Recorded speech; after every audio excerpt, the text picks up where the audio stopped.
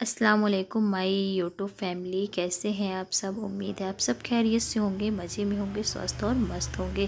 Friends, मैं भी बिल्कुल ठीक हूँ और आप लोग के साथ शेयर करने वाली हूँ भरवा मिर्च की रेसिपी। अचार भी कह सकते हैं आप, ये मेरे नानी के स्टाइल पे है। मेरी नानी ऐसे ही बनाती थी और मैं बहुत पहले बना भी चुकी हूँ, ट्राई कर लिया मैंने, बहुत ही टेस्टी रेसिपी बनती है ये। मेरी नानी बनाती थी तो मैं खाती थी और उन्हीं की ये रेसिपी है जो कि आज आप लोग के साथ शेयर करने वाली हूँ। ज़्यादा मिर्च मैंने नहीं ली है, बस वीडियो बनाने के लिए मैंने ली है यहाँ पे।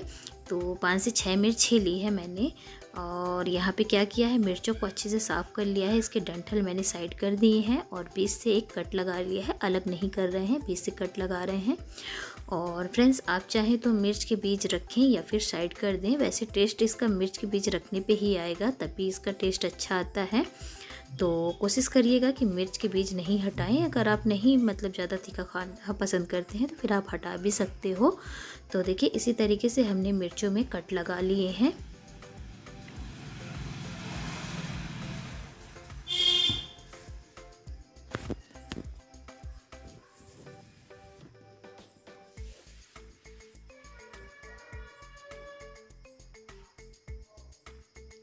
यहाँ पे सारी मिर्चों को मैंने कट लगा के साइड कर दिया है। अब आती है बारी मसालों की।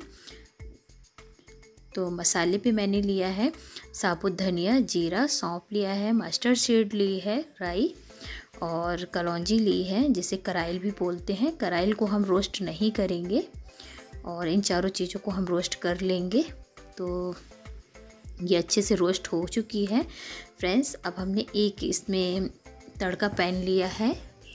और उस पर एक आधे कप के करीब ऑयल होगा। बड़े वाले कप में आधे कप ऑयल हमने अच्छी तरीके से गर्म कर लिया था और ये मसाला जो है मैंने दर दरा पीस लिया है ठंडा होने के बाद और मैंने ऑयल जो है साइड रख दिया है ठंडा होने के लिए।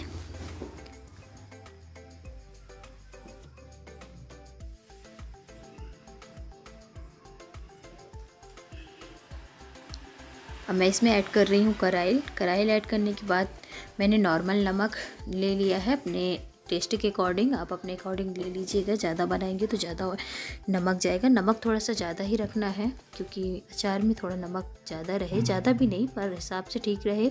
सीधा नमक लेना है, हल्दी लेना है। आप चाहें तो मिर्च डालें या फिर स्किप कर दें। जैसे मैंने स्किप कर दिया है, मैंने नहीं लिया।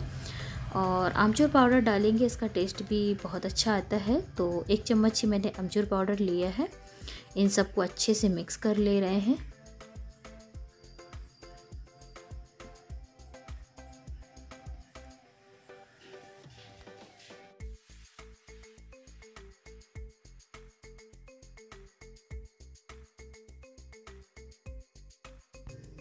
तो इसको अच्छे से मिक्स करने के बाद हमने जो ऑयल गर्म किया था, वो ठंडा हो चुका है। इस पर हम दो से तीन चम्मच के करीब ऑयल ऐड कर देंगे और अच्छे से मिक्स कर लेंगे।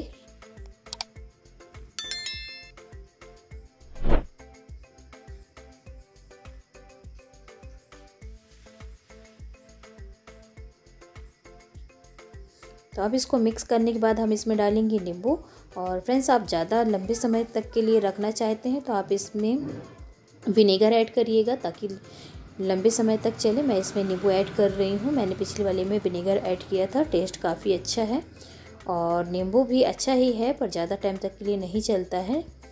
तो हम विनेगर डालेंगे, ज़्यादा बेस्ट होगा और इसको मसाला तैयार होने के बाद हम इसमें मिर्च में अच्छे से इसको भर देंगे।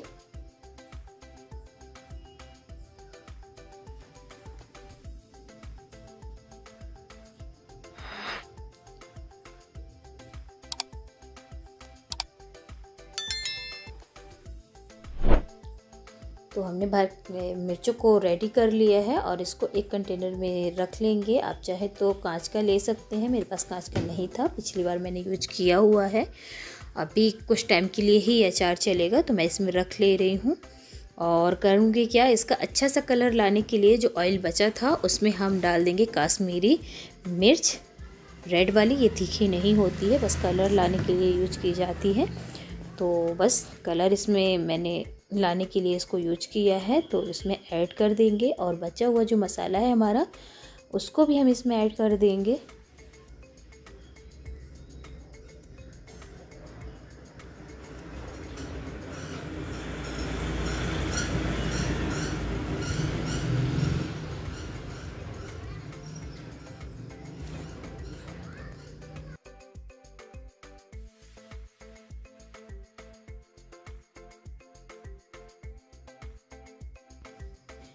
मसाला ऐड करने के बाद कंटेनर का कैप लगा के अच्छे से इसको मिक्स करेंगे। और मिक्स करने के बाद दो या तीन दिन धूप में रख देंगे और फिर इसको यूज़ कर सकते हैं पराठा और रोटी के साथ। दाल चावल में भी बहुत टेस्टी लगता है, आप लोग भी ट्राई कीजिएगा। और अगर मेरी वीडियो पसंद आई है तो वीडियो को लाइक कीजिए चैनल को सब्सक्राइब कीजिएगा। मिलेंगे एक ऐसी न्यू वीडियो के साथ, तब तक के लिए अल्लाह हाफिज़ बाय बाय टेक केयर अपना खूब सारा ख्याल रखिएगा।